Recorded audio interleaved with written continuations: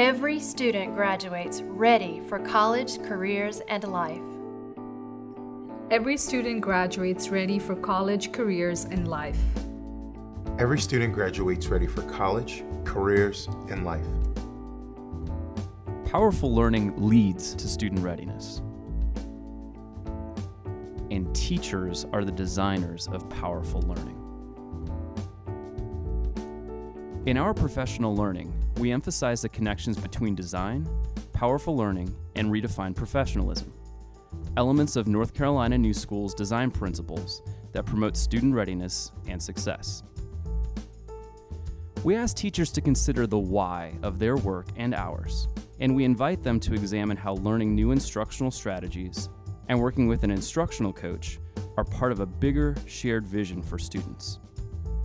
North Carolina New School's on site professional learning, delivered by instructional coaches, is designed to provide structure, choice, cohesion, and support to align and differentiate each school's professional learning needs with our design principles. Design and powerful learning are central to the framework. Intentional use of an instructional design process engages teachers in an ongoing process of discovery, development, and delivery to continuously improve their instruction and meet the needs of their students. The concept of design also empowers teachers to create and to recreate powerful learning experiences, allowing students to move toward identifying problems, creating solutions, synthesizing relevant knowledge and skills, using technology to learn content, internalizing a design approach to thinking, and demonstrating learning outcomes through multiple and varied opportunities. The model supports teachers to explore and define powerful learning and what it looks like in the classrooms, for teachers and for students. We look at powerful learning through the lenses of engagement, understanding, culture, and personalized learning.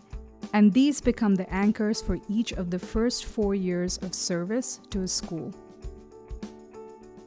The model also includes specific sessions on learner centered strategies to give teachers concrete tools and support to create powerful learning in all content areas. These strategy sessions are paired with design workshops that support teachers' implementation of the strategies in their classrooms. In years one and two, these strategies focus on questioning, discussion, reading, writing, feedback, and collaboration. In years three and four, the strategies are aligned to themed strands that schools can choose to focus their work.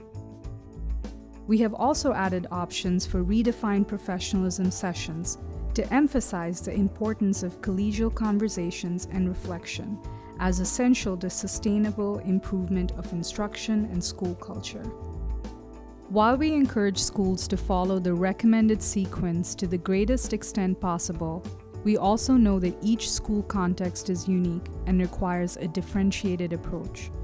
Therefore, sessions may be modified, rearranged, or omitted based on the needs of the school and observations of the principal and school support team members. Evidence based decisions utilizing the impact plan should guide the professional learning plan for each school. In order for schools to make the most informed choices, we encourage schools to reflect on the following questions. What professional learning has a school had to date? What are the goals identified in the impact plan? Where is the school in the process of instructional rounds? What have other coaches accomplished that should be continued? What input has been gathered from the school support team? What could design workshops look like at your school? What could redefined professionalism look like at your school? What could a cohort model look like at your school?